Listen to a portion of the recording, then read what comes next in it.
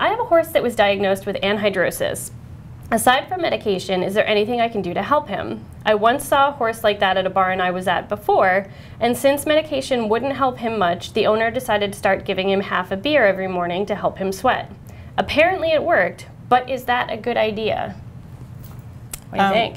Can I answer the first part? Yeah. The last so- part first? Yeah, let's do a it. A lot of people give their horse beer, and it's specifically Guinness beer, popular choice. dark beer, for this condition. And we should say anhidrosis is the um, complete or partial ability loss of the ability to sweat in response to stimulation. So when it gets hot and you'd think this horse should be sweating because I'm working him, or it's just 100 degrees in the shade and he's not sweating, that's anhidrosis. Now, some peop- some people would think like, oh, you don't sweat. That means you don't stink. That means you don't need deodorant. And they think it's a good thing. For horses, it's not a good thing. Can you tell us why? Yeah, and you know what? When I looked these up, because this one got to the top of the list very quickly.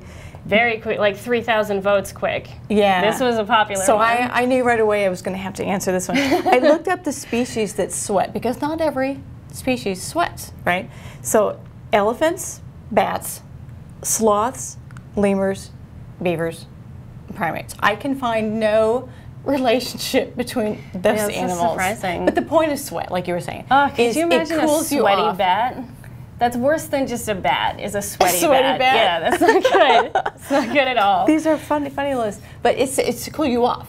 So it gets warm. Your your core body temperature gets warm, and then there are signals in your brain and throughout the body that release um, sweat from glands, and then the evaporation of that sweat, that liquid, is what cools your body off and ma- maintains your temperature. So the species that don't do that have to pant like Mm-hmm. a dog or wallow in mud like a pig. They have other ways to cool their core body temperature off. Deodorant's looking pretty good right about now. Yeah. You know, walking around panting. wallow- or wallowing in the mud. Yeah.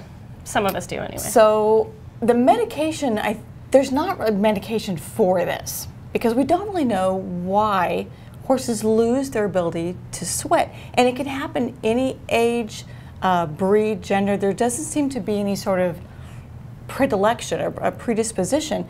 It does happen when a horse comes from a northern climate, say Massachusetts, where we are, to Florida, where it's hot and humid, and they suddenly lose their ability to sweat. So some of the advice is to um, allow your horse to acclimate to a new environment gradually. Make sure they're conditioned before you get there. If you're going to provide a supplement, not a medication, for this condition, then you want to have it on board before they start getting those signals to sweat. And I don't normally mention a supplement, but there is one, it's called One AC, that has some really good research on it. It was done in Florida that in, it, it contains things like tyrosine, which is an amino acid, some B vitamins, cobalt, niacin, other things, and it has been shown to help horses sweat. Now, beer has not been shown through research to help horses sweat, but anecdotally, you hear about it. So I felt like I had to bring some today. Okay.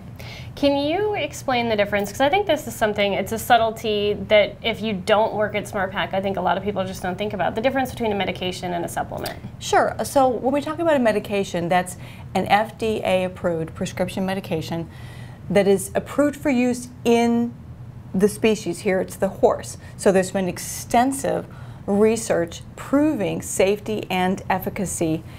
Millions of dollars, seven to 10 years, it's a big deal. So when you see a Prascend, a GastroGard, something like that, that's got years and years and lots of dollars behind it. That's why we call them big pharma. Mm-hmm. So